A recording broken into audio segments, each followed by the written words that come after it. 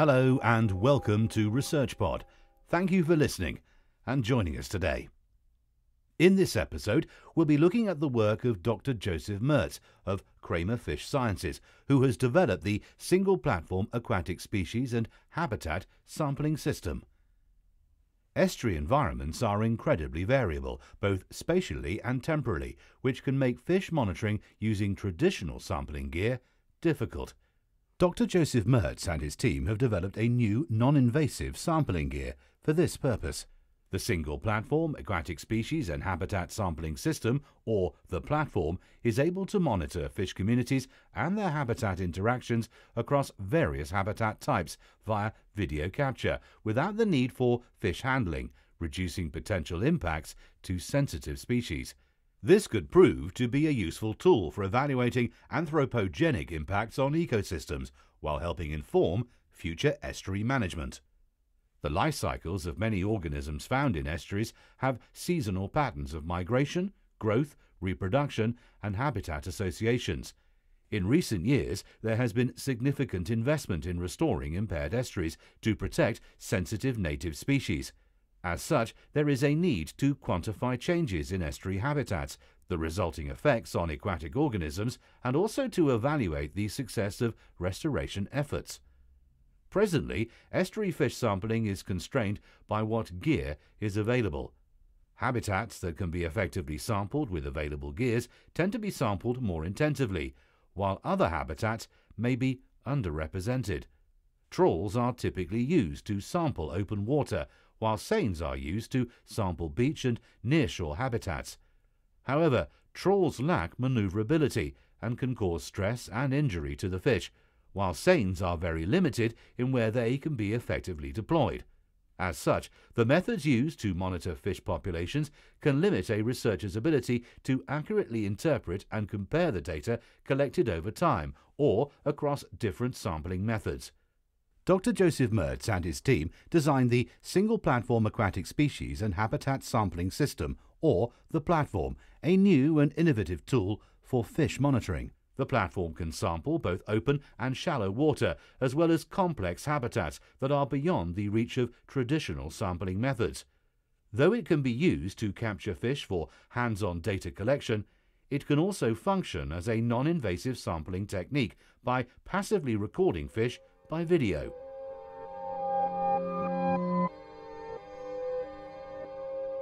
The platform is a modified pontoon boat with a concentrator net attached at its front. The sample mouth extends in the front, while the rest of the net passes under the boat. Water and fish are channeled between the two pontoons, where they pass through a removable live box mounted underneath the deck before being discharged to the stern of the boat. Because the platform funnels fish past cameras in the live box, it reduces the need for in field handling and processing. Recorded video images are analysed after the survey.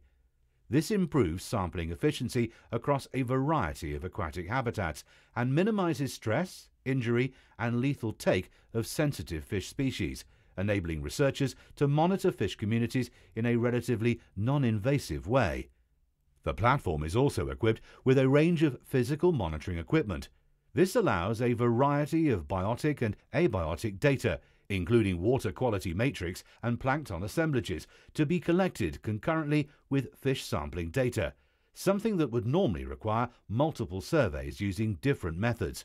In this way, more standardized data are produced, with the ability to relate environmental conditions directly to fish observations. Dr. Merz and the Cramer Fish Sciences team set out to test the platform's ability to sample across different habitat types and detect differences in fish communities. This would allow them to study the abundance and distribution of fish species across different habitats. The study was performed at Mildred Island, a submerged island within the San Francisco estuary. The estuary is characterized by significant changes over the last 170 years, including the removal of 95% of the historical estuary wetlands for agricultural and industrial use, channelization and dredging of rivers, and the removal of large woody debris. It is also considered the most invaded habitat on the planet, with large populations of non native species that have been introduced over time. The team identified four habitat types within the sample area open water lake, lake wetland, open water ravine, and ravine wetland. They performed a total of 205 transects using the platform between the 26th of July and the 31st of August 2018. Across all transects, 24,213 fish were sampled in total, with 16 different species being identified. Of those sampled, 94% of the fish species observed were non native. The only native fish species seen during the study was the prickly sculpin, Cottus asper, though the platform was successfully able to capture changes in habitat associations across different life stages for the non native fish species the research team was able to demonstrate the platform's ability to identify physical distinctions among the four estuary habitats and to detect the segregation of fish species among these habitats. The study also demonstrated that the platform is capable of collecting standardized environmental data simultaneously with fish species data. This allows changes in fish communities associated with environmental conditions to be properly evaluated. Accurately detecting such data is critical for effectively monitoring changes in the ecosystem and appropriately responding to these changes.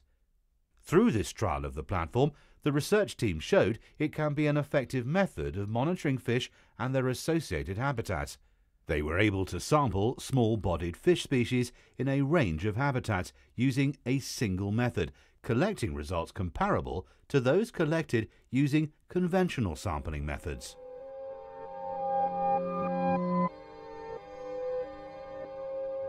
The platform overcomes many of the challenges associated with the traditional methods used in fish monitoring. For example, seining is often limited by depth and shore access and is only capable of sampling small water volumes per hull. Meanwhile, trawls are inefficient in comparison to other techniques, as they lack maneuverability and can alter the behavior of the fishes being sampled. In addition, as most conventional sampling methods require capture and handling, they may be associated with significant stress, injury, and mortality of the fishes. For estuary environments, different sample gears are generally used at different times of the year to reflect the seasonal shifts in fish communities and their habitat use. However, the early life stages of various fish species are often undersampled by traditional gear because they use highly vegetated littoral habitats that are difficult to accurately sample. In addition, the type of gear used can bias fish capture data based on how effectively the chosen gear samples a particular habitat or species, making it difficult to standardize and compare data across habitats.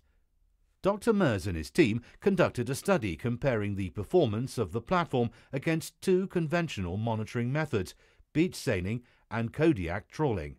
Rocks, underwater vegetation, and tree branches can all provide escape routes for fish during seining. However, the platform was able to effectively sample through woody vegetation during the study, producing accurate results. Due to its increased sampling speed, the platform was also able to sample a greater volume of water than beach seining over the same period of time.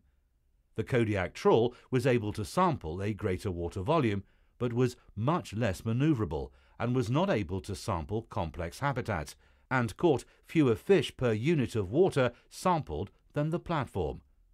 Overall, the team found that the platform was able to adequately sample fish across habitat types that would normally require multiple types of gear. It directly addresses the need for standardized and comparable data across habitats without the bias associated with using different gears. In addition, because it can collect more individuals in the same amount of time as both trawls and seines, it may prove to be more effective for detecting species that are less common, such as those that are threatened or endangered.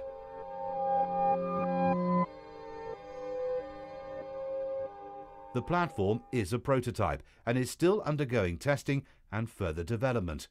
Future and ongoing investigations, including implementing an automated system for fish identification and size estimation directly from the live box video, as well as expanding the platform's depth range.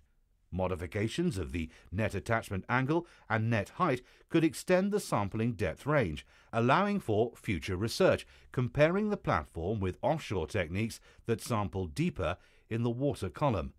The platform provides an effective, novel method for monitoring the spatial and temporal variability of various aquatic habitats. It has the potential to not only evaluate the anthropogenic impacts on aquatic ecosystems, but also to assess the effectiveness of restoration efforts and monitor the effects of management activities on fish communities. This, in turn, could inform future management of these ecosystems. That's all for this episode. Thanks for listening and stay subscribed to ResearchPod for more of the latest science. See you again soon.